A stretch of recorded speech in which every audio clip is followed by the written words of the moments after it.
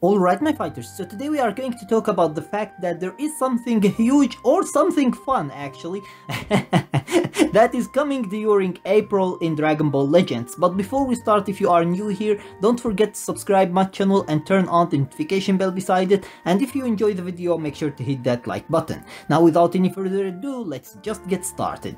So first of all, as you can see during uh, part uh, or actually during reveals and stuff episode 21, uh, after they revealed Ultra Super Saiyan Blue Kaioken Goku, Toshi said, I just wanted to let everybody know that we are cooking up something fun. for people to enjoy this April.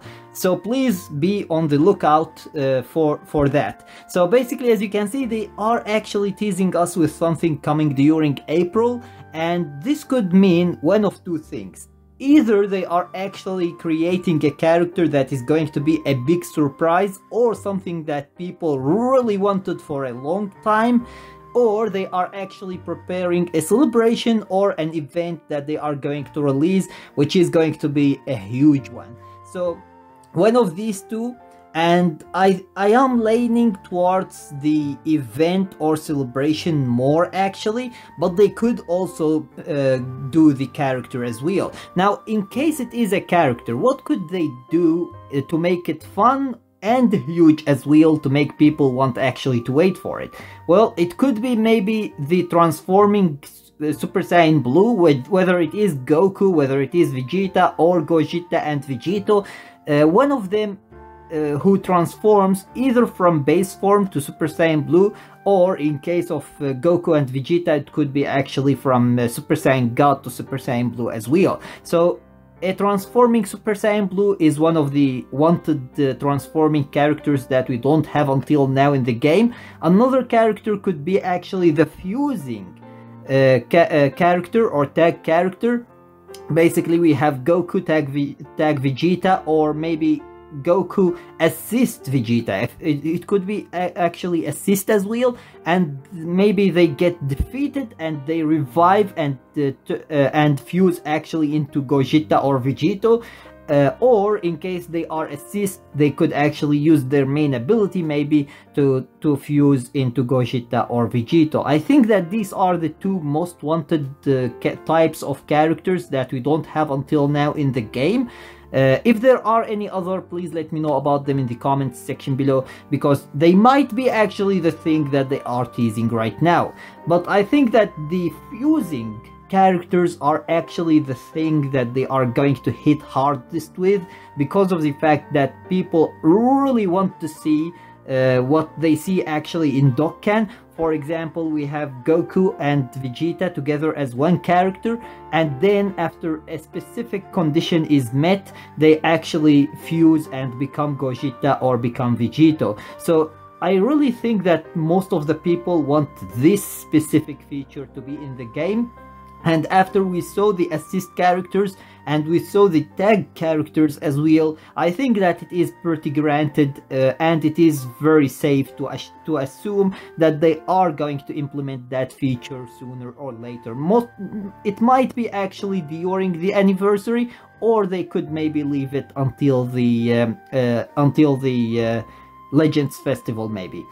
Or they could also do it during April to actually uh, to uh, gain as or to take actually as many uh, chrono crystals as possible from the players before the fourth anniversary. Because as you know every time we reach a specific celebration that is extremely hype mainly the anniversary and legends festival they try their best to drain as many chrono crystals as possible before that celebration starts. And this is normal. This is actually how business work. So basically this is how they try to uh, to make money during the anniversary and the legends festival. So if they are saying that there is something fun that they are cooking up and if it is actually a character that they are teasing us with I believe that it could be something that people really wanted for a long time and they are going to implement it now so that they could actually make as many people as possible hype about it and uh, spend their chrono crystals. And then once the uh, the anniversary starts which is actually not not in April but at the end of May so basically it's not so far away uh, we are going actually to need to buy chrono crystals in in order to be able actually to summon or we aren't going to be able to summon as much as we want. So basically i believe that this is what they are going to do in case they are teasing us with character here. Now they could as well as i said before be teasing us with an event or celebration.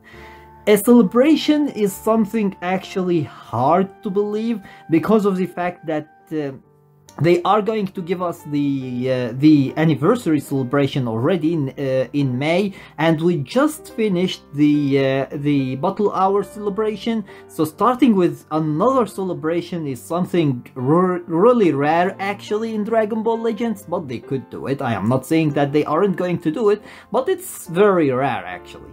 Uh, so what I believe is actually a new type of event that they that they are preparing that they didn't give us any information about until now. Now this event could be really awesome and it could be really bad because every time they actually release a new mode or a new type of event they say that it is going to be really awesome and most of the time unfortunately it ends up disappointing like seriously disappointing so we will see what they are going to do, but if it gives a good amount of chrono crystals, it's good. if it doesn't, then it's not good. no, seriously.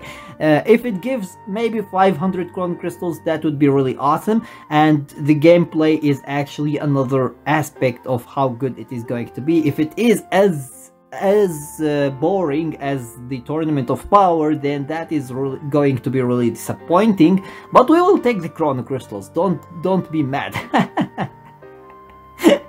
don't be sad, Toshi. We are going to take the Chrono Crystals. We aren't going to say no. so yeah, basically.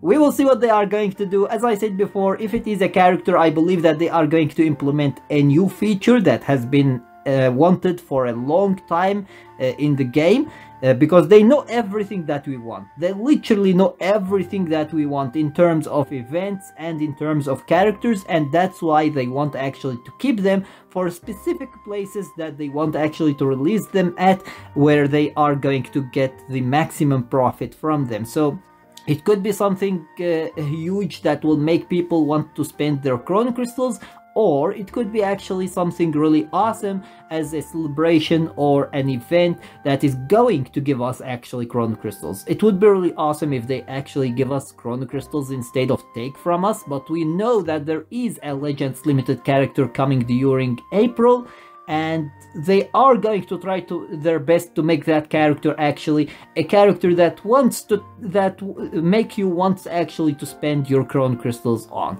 So we will see what they are going to do. Let me know your opinion about it in the comments section below. And as always i hope that you enjoyed the video. And if you did please give it a thumbs up and share it with your friends so that they can enjoy it too. And if you got any useful information from this video or if you enjoyed it make sure to subscribe my channel and turn on the notification bell beside it so that you stay notified with everything everything new about Dragon Ball Legends and with that being said, see you as always in the next video of Dragon Ball Legends.